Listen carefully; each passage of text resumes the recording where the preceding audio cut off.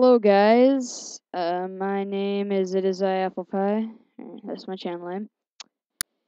And I'm here to teach you how to use your Xenon server's uh, TC admin control panel.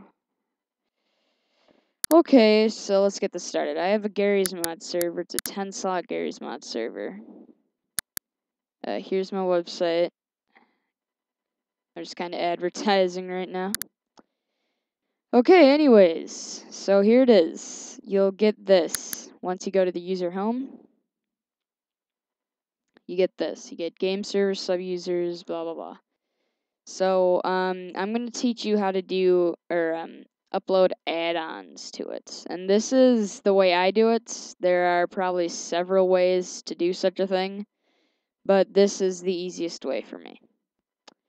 Okay, so you're gonna click on game servers, right? And hold on. As you can see on my, um, I have this. These are all Garry's Mod add-ons. Like the Stacker Tool, OMG City, uh, Keypad Cracker, Pills, um, because I have a Dark RP server. So let's say you're trying to get Keypad 1.4. You'd go to File Manager. This takes a bit you'd hit add-ons.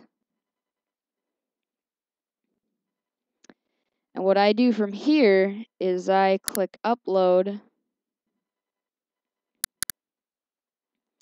and I browse until I find keypad 1.4. I'll, I'll click on it, I'll click open, but I'm not going to do that because I already have it there. I'll click upload and once it's done uploading, this box will say this um, keypad 1.4 is uploaded. Okay. And then it'll be right here. As you can see, this doesn't look like a regular folder because it's uh, right now it's still in zip form. So what you gotta do is you gotta go over to this little dialog box and hit unzip. Once you hit unzip, uh, keypad, oh, here it is. Sorry, my voice is cracking. That's been happening recently. I also have a keypad keypad cracker for uh, certain classes, black market and whatnot, uh, which is a separate add-on, which I also zipped, as you can see here. And I've been doing this with uh, everything I have, pretty much, and it's worked perfectly for everything.